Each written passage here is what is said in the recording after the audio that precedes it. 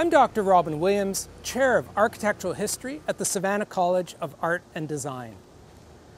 What can a building tell us about a place, about its people, its institutions, and its past? Just as everyone has a family tree of ancestors that is invisible to others, and may even be unknown to the people themselves, a building is very similar in having a hidden history of previous functions and changed features. Even more hidden is the history of the site and any previous buildings that had once existed there. And there are the cultural ancestors from the past of architectural traditions that helped shape its creation. Poetter Hall, SCAD's first building, illustrates the rich and complex historical narratives that lie hidden within any building's walls. Today, Poetter Hall houses SCAD Story, an immersive 4D experience that tells the story of SCAD's history. But that is just its current story. As SCAD's first building, it was originally called Preston Hall, and before SCAD, it was the Savannah Volunteer Guards Armory. While every building has multiple stories to tell, in Savannah, they are enriched by the role they play within the urban plan. The unique built environment of Savannah is like a symphony without a soloist, where the streets, squares, trees, and buildings work together in harmony without any building dominating the orchestration. Instead of a traditional campus of buildings clustered around an open green space, SCAD's unique campus of formerly abandoned and disused buildings at multiple locations across the city reveals the influence of this orchestration. The college followed the city's historic urban patterns of distributed institutions. In effect, SCAD learned from Savannah. Join me as we explore the history of this remarkable building and the part it plays in the city's and SCAD's urban symphony. Poetter Hall illustrates the benefits of being a building in downtown Savannah an area defined by a unique urban plan that dates back to the city's founding in 1733 by James Oglethorpe. Usually called the Oglethorpe Plan, but more properly called the Savannah Plan, this unique urban plan involves a series of small urban neighborhoods called wards, each centered on a square and comprising small urban blocks and a complex grid of interlocking streets of varying widths. The plan ultimately grew to 24 wards with squares, and yet it is those aligned with Bull Street, the five on Bull Street, that became the most prominent and most desired. So to have a building facing Bull Street was the best address. To be on Bull Street and face a square like Madison Square right here is even better Poetter Hall does both. The area that became Jasper Ward, indicated by the red square, and where Poetter Hall now stands, was originally part of the city common beyond the edge of the town laid out by Oglethorpe. During the American Revolution, British fortifications ran through this area. This part of the common saw a variety of uses take place before the distinctive urban plan expanded here in the 1830s. Running down the center of the common was White Bluff Road, the extension of Bull Street south of the town. A large tobacco inspection building stood where the current DeSoto Hotel stands, while a rope walk, a long open structure for making ropes for shipping, crossed the future site of Poetter Hall. Shortly after the area was surveyed, one of the first buildings erected in the newly laid out ward was the Female Orphan Asylum on the site of Poetter Hall. Straddling two building lots and standing two stories tall above a partially raised basement, the building was rare in Savannah in having monumental pilasters, or flattened columns, rising the full height of the facade. As was usually the case with monumental houses in Savannah, it faced the square, fronting Charlton Street, rather than facing Bull Street. It must have made a grand impression, especially as it stood on the southern edge of the growing city. Unfortunately, no photographs survive of the building, apart from appearing in the background of a few photos, such as this one of the Jasper Monument, which was completed in 1888. Though obscured by trees, we can get a sense of the asylum's imposing scale. The building would stand until 1890 when it was demolished to make way for the armory of the Savannah Volunteer Guards, one of 11 militia companies then existing in Savannah. The Guards' previous armory stood on the back half of a trust lot by Wright Square, where they took over a federal arsenal, replacing it with a grandiose Italianate style building erected in 1886, only to see it destroyed three years later by the 1889 Great Savannah Fire. The Savannah Volunteer Guards hired Boston architect William Gibbons Preston to design their new building. Preston had already designed some of the most prominent buildings in the city, including the Cotton Exchange, the Chatham County Courthouse, and the enormous Hotel de Soto. An initial design for the Guards Armory, much simpler and more massive than the eventual building, appeared in the Savannah Morning News in January 1892 but the article did not identify its architect. It was likely by Preston, though, whose Chatham County Courthouse used the same composition of a stocky corner tower and large central entrance arch. A year later, a different design appeared in a professional architectural journal and employed large round arches and red and beige stonework typical of the Richardson Romanesque style popular since the 1870s a combination Preston used a couple of years earlier for the Hotel de Soto located across Madison Square. In its final form, Preston used only red brick, but achieved visual interest through the variety of details, textures, and materials on the facade of the building. And to convey the appropriate military character of a militia company building, Preston endowed the design with several castle-like features, from the massive corner towers to the cylindrical turrets that flank the front door and rise the full height of the facade, and along the roof line, crenellations, that feature that you'd find on fortresses where archers would hide and shoot arrows during the Middle Ages. One of the great things about Preston's design for the Guards Armory, or Poetter Hall, is the attention to detail that he gave, which was very typical of an architect of the 19th century and really rewards someone who looks today. For example, behind me, you can see this brick molding that extends out and forms a kind of staggered staircase that informs us exactly what's going on behind these stepped windows. This is, in fact, one of the staircases for the building. And above the arches, if we look up, we can see the the voussoir, the form of the kind of keystone-like elements of the arches, are formed by wedge-like bricks. Other brick details included panels of diagonal basket weave pattern on the rear wing housing the drill hall, and protruding bricks on the turrets flanking the entrance to form a spiraling effect. Even more extravagant are the ironwork details, the exuberant bracket holding the flagpole, and the intricate balcony railings above.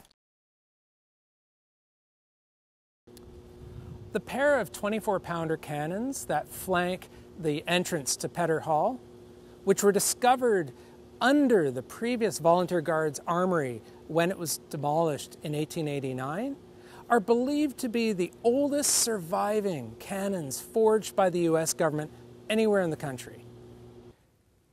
In its original function, as the Savannah Volunteer Guards Armory, the members of the militia company would have entered this spacious hall and gone up this grandiose wooden staircase to the second floor, where all the principal functions took place the reception rooms at the front overlooking Bull Street, and the drill hall at the back, where martial exercises and practicing would have taken place.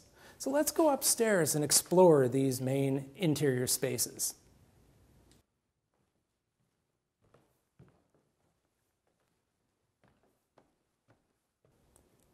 As one reaches the top of the stairs, we approach a landing that leads us to the nicest or most grandiose spaces of the interior of this building, the reception rooms overlooking Bull Street. So follow me.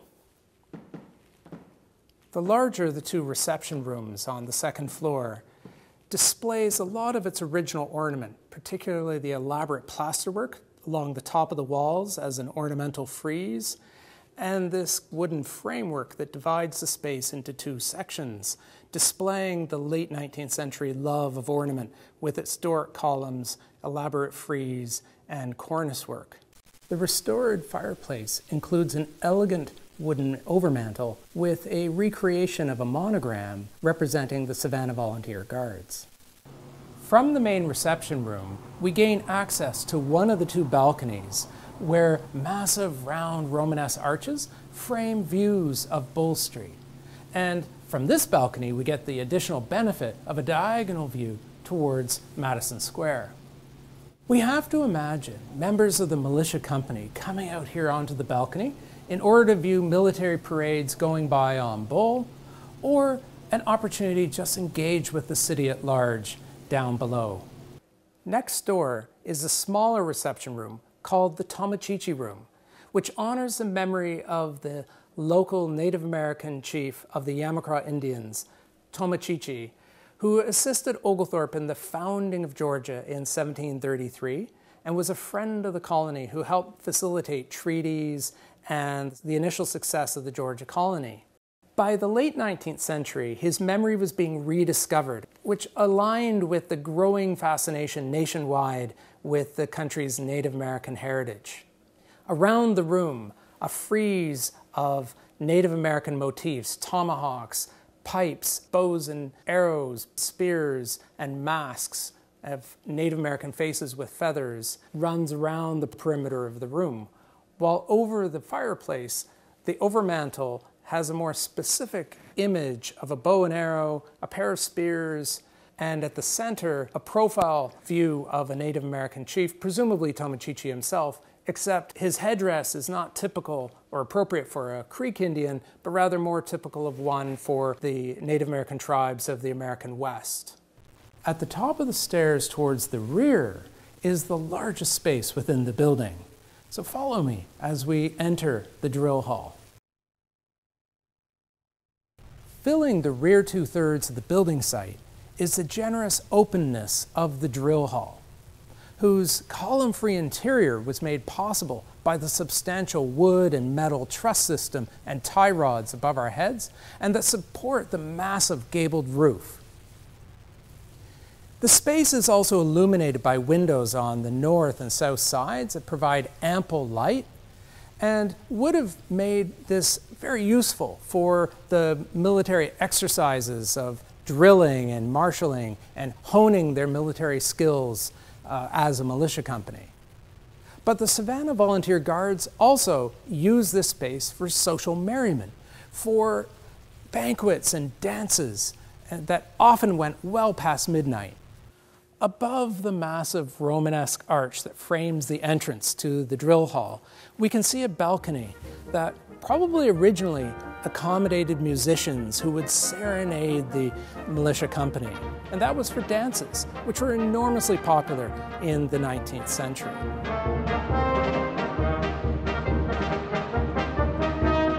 So we have to remember that a militia company was more than a military organization. It was an important part of the social fabric of Savannah. As documented in the 1898 Sanborn Fire Insurance Map, the Guards Armory belonged to a cluster of socially oriented buildings along Bull Street. To its south was the Harmony Club, a Jewish men's club, and across the street, almost as if in response, its Christian counterpart, the YMCA. The map also shows that the armory had an open air rifle range along the north side of the building by Charlton Street, with only a small wooden structure at the east end of the site to stop the bullets. It must have been horrifically noisy for the residential neighbors. This might explain the appearance of a wooden shed enclosing the rifle range a few years later, as documented in a publication of 1902.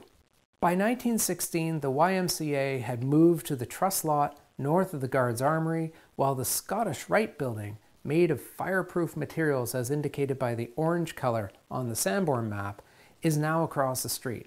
Its footprint mirroring the front of the armory with its full lot width and rounded corners. The map also shows a brick structure where the rifle range had been and now functioning as a swimming pool. Across the back of the building is a bowling alley. Bowling remained in active use at the Armory building until at least the 1940s, when the pastime bowling alleys served students from Armstrong Junior College, a college use of the Armory over 30 years before SCAD acquired the building. In March 1979, SCAD acquired the Volunteer Guards Armory as its first building, which it renamed Preston Hall after its architect and began the process of renovating and adaptively reusing the building to the needs of the art college. SCAD opened for classes in September 1979 with all of the college's functions housed inside, along with about a dozen faculty and 75 students. So central was the building to the college's identity that its facade long served as the SCAD logo. The building even adorned college keys and at least one Christmas ornament. In 1997, the building was rededicated as Poetter Hall, after the college's co-founders May and Paul Poetter. Today, SCAD uses Poetter Hall as the site of SCAD's Story, an immersive 4D experience that tells the story of SCAD and its history. So students who are considering coming to the college, or even anyone really, who wants to learn more about SCAD can come to Poetter Hall and experience this interactive set of displays that runs through part of the building. And in fact, the interior has been changed over the years as the building has served a variety of different functions, from originally housing all parts of the college to gradually, as those functions moved on to other buildings, the interior became increasingly specialized, housing only a few departments such as admissions and communications. For a while, graphic design was at the back of the building. And so this building has adapted to the changing needs of SCAD, illustrating the flexibility with which the college uses its historic inventory of buildings the drill hall, which today is used by SCAD as an event space for different receptions and exhibitions. But this space has been used for many different things by SCAD. Originally, it housed the whole college library in this one room before it was moved out to the Jen Library on Broughton Street as the collection grew. It has been used for multiple admissions events and other things, uh, meetings and so on. And it's typical of how SCAD makes multiple uses of the very many different spaces it has on campus. Beginning with Poetter Hall, SCAD quickly acquired other abandoned, disused, or otherwise neglected buildings across the downtown area and eventually spreading to other parts of the city. In contrast to a traditional campus with buildings clustered around an open green space, SCAD instead followed the guidance of the Savannah Urban Plan and its distributive effect due to the numerous, roughly equal wards and squares. The range of repurposed and restored buildings that constitute SCAD's campus is breathtaking in its architectural diversity, including a former wholesale store, office building, a department store, a jail, a county health building, and an elementary school. Today, over 70 historic buildings have been given new life. Whether revival, high style, vernacular, or modernist, SCAD embraces all styles and forms of buildings, nimbly changing their use as the college's needs continue to evolve. As we've seen, Poetter Hall illustrates the many layers of history that exist in every building. Buildings rarely serve the same function throughout their existence, and Poetter Hall is no exception. Built for a venerable militia company and housing guns, dances, and even bowling. The building has served SCAD in multiple capacities and is the cornerstone of SCAD's remarkable growth throughout Savannah and to locations abroad. Poetter Hall also illustrates the harmonious choreography of buildings within the Savannah Plan benefiting from its prestigious location here on Bull Street and overlooking Madison Square.